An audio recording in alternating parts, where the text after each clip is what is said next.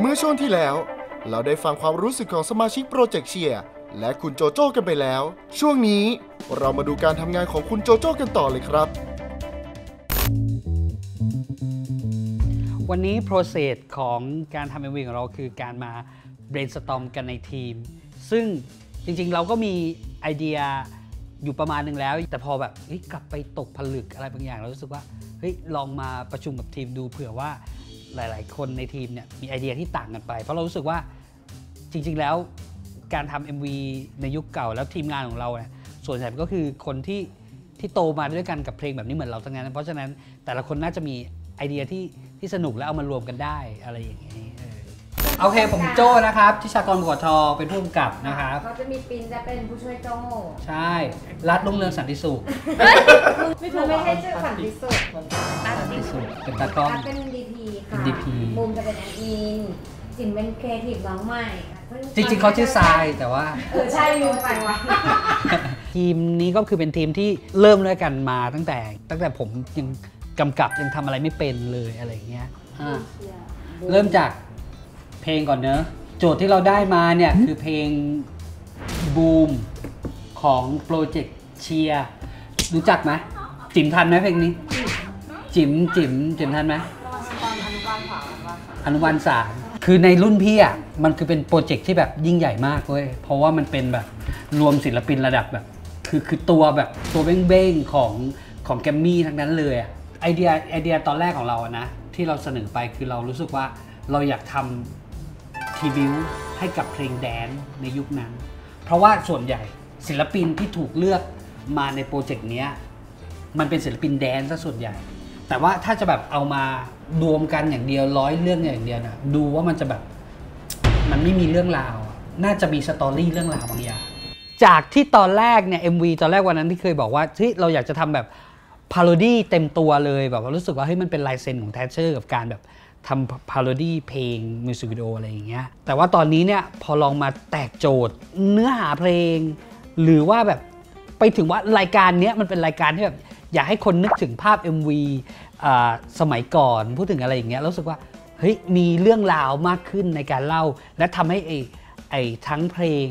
ทั้งภาพเนี่ยมันเด่นขึ้นมาพร้อมกัน เพลงเชียร์มันพูดถึงความแบบสามัคคีร่วมมือกันมาทำอะไรสักอย่างหนึ่งแล้วก็มันต้องเป็นเพลงเต้นสนุก และยังต้องคง character ในความแบบว่าขำขันขายอารมณ์ขัน humor แบบแบบ Trasher ด้วย คือตัว MV เก่าเนี่ย นึกถึงอะไร นึกถึงภาพอะไร อะไรที่สิ่งที่เราจำได้ ปอมปอมปอมปอมใช่อ่า นั่นคือสิ่งที่ชัดสุดใช่ซึ่งเรารู้สึกว่าพอถ้าเราทำอันนี้แล้วอะลบภาพจำตรงนี้ไปไปไปหน่อยไปหน่อยฮะเออ น่าจะหาวิธีการเล่าเรื่องที่มันแบบ มันเปลี่ยนมันเปลี่ยนไป ถ้ามองย้อนกลับไปที่ตัวเพลงที่เนื้อหาของเพลงอะอะทุกคนก็นึกออกไหมว่ามันคือเพลงสามัคคีชุมนุมอะมันคือแบบว่า เฮ้ย ออกมาสิออกมาเต้นออกมาเต้นกันหน่อยสิออกมาแบบเฮ้ยทุกคนมันรวมตัวกันเพื่อทำสิ่งใดสิ่งหนึ่งอะไรอย่างนี้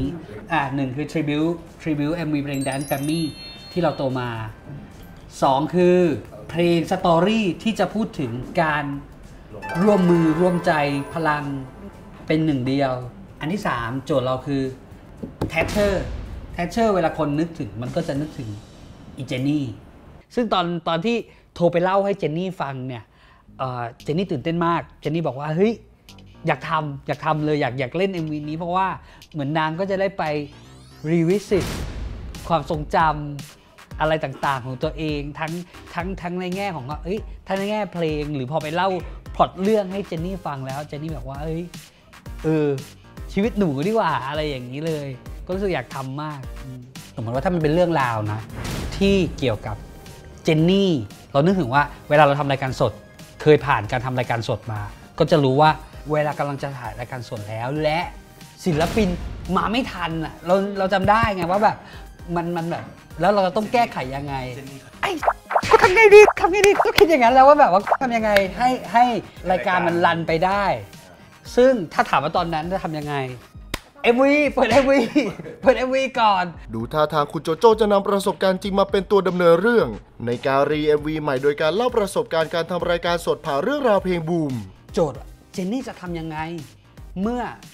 ศิลปินโปรเจกต์เชียร์หลาย ๆ คนเนี่ยไม่มาวันนี้ต้องทำยังไงดี เออ เลยว่าโจทย์ว่างั้นเจนนี่ต้องเล่นเป็นศิลปินเหล่านั้น หลังจากพูดคุยไอเดียกันเป็นที่เรียบร้อย คุณโจโจ้ก็มาลงรายละเอียดของ MV กันต่อ คือพอเป็น MV อะถ้าเราเอาแต่นั้นอย่างเดียวอะเนื้อมันจะไม่พอในการตัด ยิ่งโดยเฉพาะเพลงแดนน่ะ เพลงแดนน่ะมันต้องใช้ภาพย้ำบีดมันต้องมีสองเส้น เอาละครับ MV เพลงบูมที่มีเนื้อเรื่องสองเส้น จะสร้างปัญหาหรือเพิ่มความสนุกช่วงหน้ามาติดตามกันต่อ โหมันมันมันเยอะเหมือนกันนะ ในการที่จะทำให้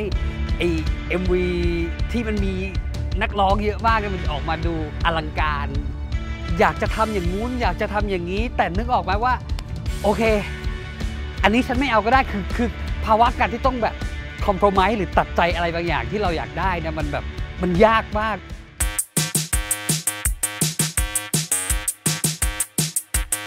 สวัสดีค่ะ จีนคำขวัญนะคะ ตอนนี้เป็นผู้กำกับฟรีแลนซ์อยู่ค่ะ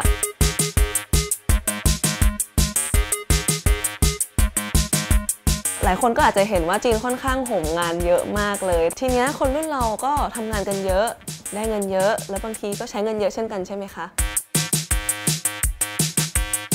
ค่ะ พูดถึงการออมเงินนะคะจินก็ออมอยู่แล้วค่ะ เพราะว่าสมัยนี้การออมเงินไม่ได้ยุ่งยากเหมือนแต่ก่อนที่เราจะต้องเดินทางเอาเงินไปฝากถึงธนาคารนะคะ แต่การออมเงินสมัยนี้มีหลากหลายวิธีมาก แถมยังได้ประโยชน์มากขึ้นด้วยค่ะ จินเลือกออมเงินกับไทยประกันชีวิต Money Fit ค่ะ เพราะนอกจากจะเป็นการออมเงินแล้วยังได้เงินคืนทุกปี ครบสัญญาก็ยังได้รับเงินก้อนคืนอีก และที่ดีมากๆเลยก็คือเบี้ยสามารถนำไปลดหย่อนภาษีได้ด้วย ได้ประโยชน์ขนาดนี้ถ้าสนใจสามารถติดต่อสอบถามมาที่เบอร์นี้ได้เลยนะคะ 02 202 9744 ค่ะ